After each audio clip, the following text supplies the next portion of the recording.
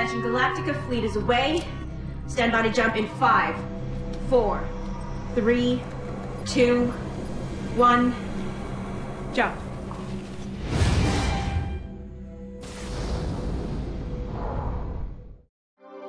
The hyper circumference of effectiveness in 3, 2, 1, FTL jumps. I recently re-encountered Kenneth Burke's use of circumference to theorize the scope of a rhetorical event.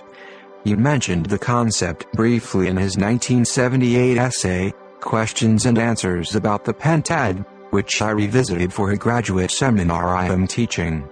Burke called circumference a quote very important consideration, for his discussion of dramatisms, of freeing drama from the stage and finding it everywhere in the world as acts, agents, agencies, scenes, and purposes. Circumference is, of course, elaborated more fully in a grammar of motives. Here he spends 10 pages on the idea and relationship to the scene-act ratio, noting that circumference is co-constitutive of a subject. Quote, the choice of circumference for the scene in terms of which a given act is to be located will have a corresponding effect upon the interpretation of the act itself. End quote. Circumference is more than contextual, more than spatio-temporal. It is terminological, and Burke reminds us quote to be on the lookout for these terministic relationships between the circumference and the circumfered and quote between words and the invisible fences they build. Inquiring into the effectiveness of teaching digital writing for the WIDE-EMU conference has gradually drawn me to consider, and really puzzle over, problems with circumference.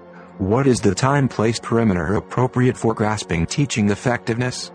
Effectiveness, after all, remains sprawling, leaky, untamable, and to adequately honor these conditions, I explore the notion of hypercircumference which I will elaborate through a series of three representative anecdotes on October 15th.